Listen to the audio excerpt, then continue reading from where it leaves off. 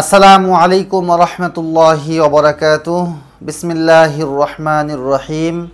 আলহামদুলিল্লাহি ওয়াহদা ওয়াসসালাতু ওয়াসসালামু আলা রসুলিল্লাহি মাল্লা নবিয়্যা বাদা। আম্মা বাদ। প্রিয় দিনী ভাই বোনেরা, আজকে ইস্তিগফার সম্পর্কে খুব সংক্ষিপ্ত আকারে আলোচনা করব। ইস্তিগফারের যে সমস্ত ফজিলত রয়েছে, ফাজাইল রয়েছে, এগুলি সম্পর্কে আপনাদেরকে অবগত করব ইনশাআল্লাহ। বন্ধুগণ, আমরা অনেকেই হয়তো ইস্তিগফার জানি, কিন্তু ইস্তেকফারের ফাজাইল, ফজিলত না জানার কারণে অনেকের ভিতরে ইস্তেকফার পড়ার ইস্তেকফারের আমল করার উৎসাহ দেখা যায় না।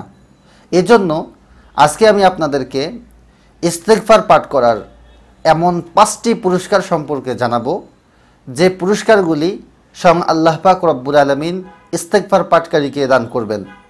বন্ধুগণ ইস্তেকফার হলো সবচেয়ে শ্রেষ্ঠ একটি বাক্য, যে বাক্যের দ্বারা মানুষ আল্লাহ তালার কাছ থেকে ক্ষমা প্রার্থনা করে। যে ব্যক্তি বেশি বেশি ইস্তেকফার পাঠ করবে, সে ব্যক্তি পাঁচটি পুরস্কারে পুরস্কৃত হবে। বন্ধুগণ এই ফাজাইলগুলি, এই ফজিলতগুলি সেই ব্যক্তিই শুধুমাত্র পাবে যে ইস্তেকফারের সঙ্গে সবসময় আটার মতো লেগে থাকবে।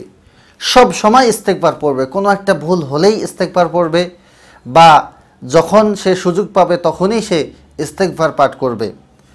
বন্ধুগণ, এখন আমরা ফাজাইলগুলি সম্পর্কে জানব।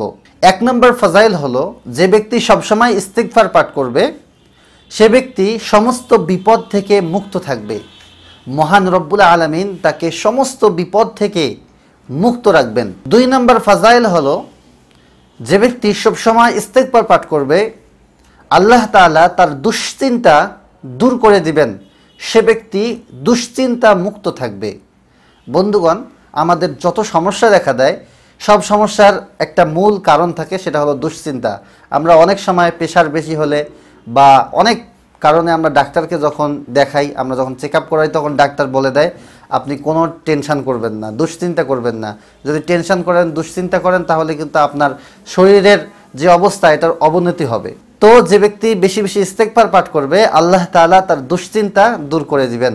তিন নাম্বার ফাজাইল হলো, এমন জায়গা থেকে রিজিক আসবে যা কল্পনাতীত।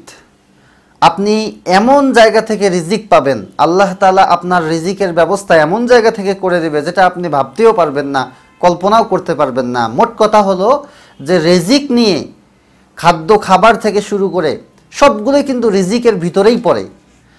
তো আপনার রিজিক নিয়ে আপনাকে কোনো প্রকার পরেশানি করা লাগবে না। আল্লাহ তালা আপনার রিজিকের ব্যবস্থা করে দিবেন। চার নম্বর ফাজাইল হলো, আল্লাহ তাল্লার পক্ষ থেকে আপনার উপর কোনো শাস্তি আসবে না। আপনি আল্লাহ তালার শাস্তি থেকে মুক্ত থাকতে পারবেন, ইনশাআল্লাহ।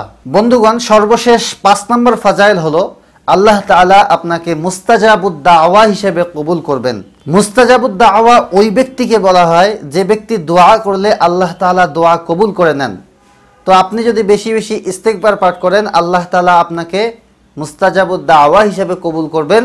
আর আপনি যদি কোনো দোয়া করেন, আল্লাহ তালা সেই দোয়াটা কবুল করে নেবেন, ইনশাআল্লাহ।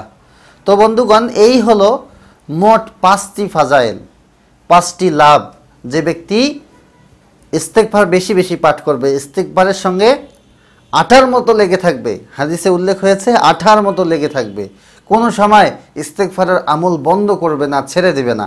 আল্লাহ পাক রব্বুল আলমিন আপনাকে, আমাকে, আমাদের সকলকেই বেশি বেশি ইস্তেকফার পাঠ করার তৌফিক দান করুন এবং আল্লাহ তালা আমাদের সকলের জীবনের সমস্ত গুণা মাফ করে দিন আল্লাহুম্মা আমিন مولاي صل وسلم دائما ابدا على حبيبك خير الخلق كل